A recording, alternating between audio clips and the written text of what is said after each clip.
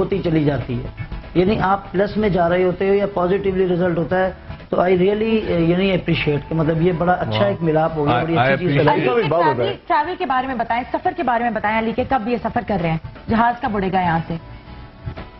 जून के बाद मैं समझता हूँ कि शायद आप पाकिस्तान में नहीं हैं जून के बाद हाँ। और अप्रैल भी उसमें यकीनी कहा जा सकता है अकॉर्डिंग टू न्यूमरोलॉजी 2011 के पॉइंट ऑफ़ व्यू से। लेकिन जून के बाद तो बहुत ज़्यादा सफ़र है और इनका भी बहुत ज़्यादा सफ़र है। यानी अच्छा। सफ़र ही सफ़र है। जून के बाद से तो। जून के बाद। दोनों के पॉइंट ऑफ़ व्यू से। और टूरिस्ट डिजिट अदद और नंबर दोनों का बनता एक्चुअली दो तीन इसमें पॉइंट बन रहे हैं। आप दोनों के